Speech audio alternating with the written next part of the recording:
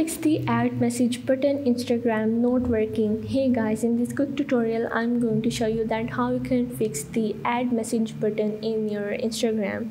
So the steps are really easy and simple. So now let's get started. So first of all you have to make sure that you update your Instagram with time to time. For that what you have to do is simply go in your play store or the app store that you are currently using and you have to go in the search and here in the search you have to search for your instagram.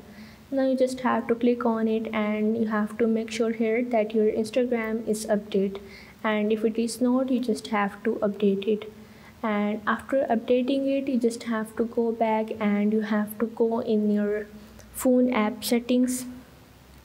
And from here you have to go in the general so now once you're in the general here basically in the android you have to go in your app management settings. But here in the iphone you have to go in your iphone storage. And from here you just have to find out the instagram option.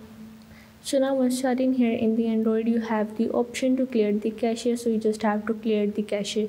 And after clearing the cache you are able to fix it. And here in the iphone you have to offload the app. And after that you have to go back and open up your instagram and here if you are still not able to fix the option what you have to do is simply go in your profile click on these three horizontal lines that is in the top right corner and go in your settings and the privacy. Now from here you have to scroll down and as you can see that here is the option of the help you have to click on it.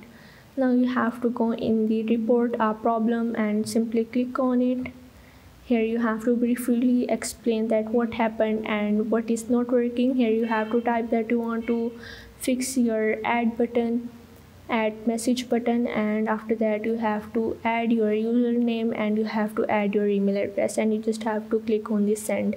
And after sending your email you just have to wait for the instagram to respond it.